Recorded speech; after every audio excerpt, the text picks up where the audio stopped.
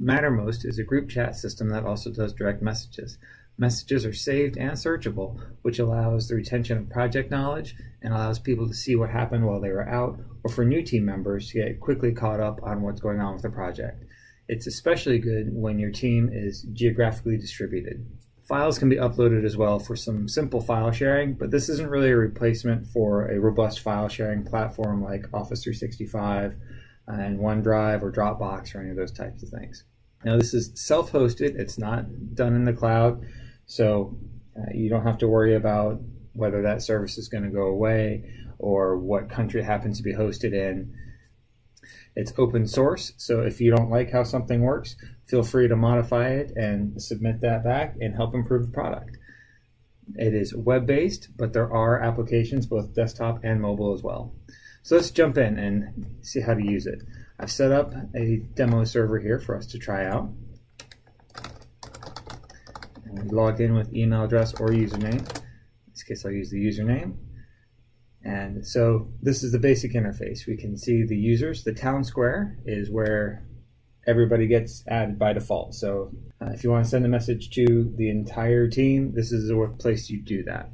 So if you want to join a channel, you can click on more here to look for additional channels. In this case, there doesn't happen to be any more channels to join, but I could just click here and go and preview it and join. If you want to make your own channel, you can click the plus, give it a name, and optionally purpose and header if you'd like. And then hit create new channel down there at the bottom. Now again, this is going to make it public. Anybody on the server can come in and see this. So if you want it to be private, we can either click create a private channel up here or we can go down to the plus by private channels. That's going to restrict it only to the people that have access to that channel. And when their access gets removed to that channel from that channel, they will no longer be able to search or access its history either.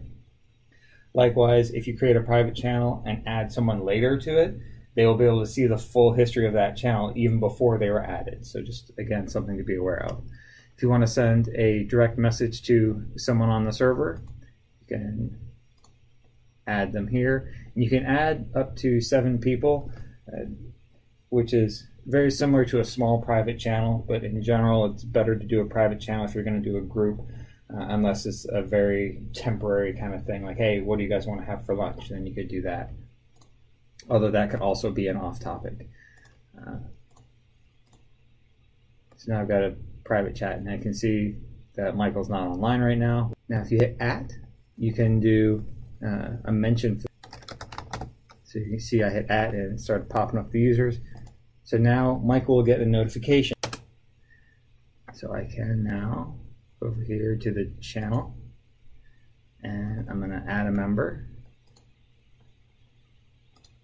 So now Michael has been added to this channel. So he will see this channel automatically over here, won't have to search for it.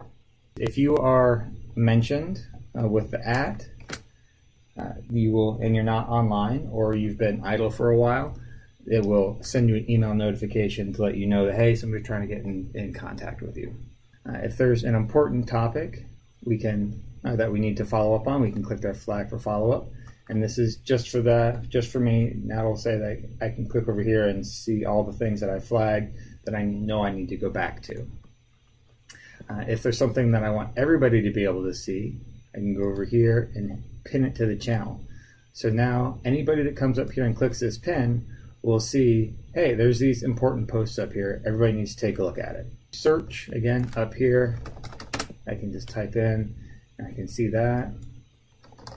I can jump right to it. It'll tell me where it is, so I can see the full context of it. If you click on those three dots up there, uh, there's a bunch of options. I'm not going to go through them all. Uh, account settings has a few things that uh, would be good for everybody to look at. Uh, in addition to the basics of making sure your name is correct, position, if you'd like to put it in there, you can add a profile picture, um, update your password. There's a few other options here, changing how the mentions work, uh, and then notifications. Change your theme if you don't like these colors, and but interestingly, down here in this last one under advanced, there's some preview release features that give you the option of uh, a few things that have not made it to the officially stable list, but are in there if you'd like to use them. In particular, I'd recommend the emoji picker, uh, which is always a nice feature. if you want to do emojis. So now down here I have this little guy that I can click and just easily add emojis.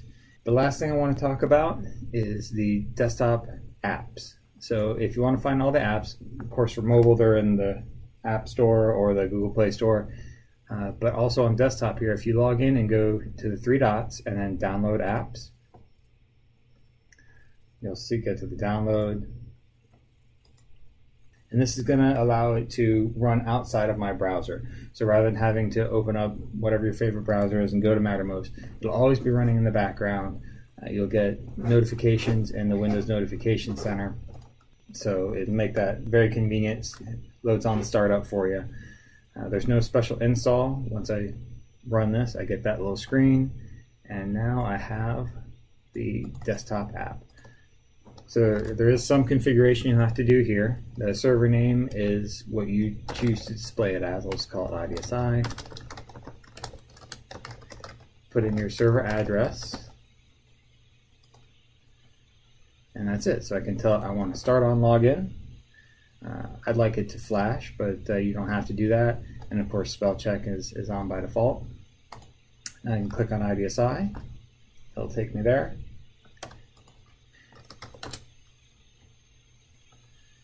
And there I am. So now I see I've got that one unread uh, message. I can see, oh, I've been mentioned by IDSI developer up here because they wanted me to join this chat. And there we go.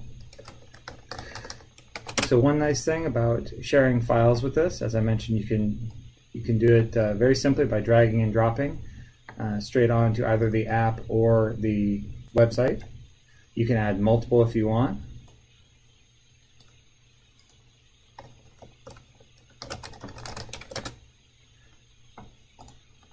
See even the animated GIFs are there. Uh, if you click the file, it goes to download it. It does not do an online edit. There's plenty more to explore on here. Leave it to you to explore or feel free to ask me questions.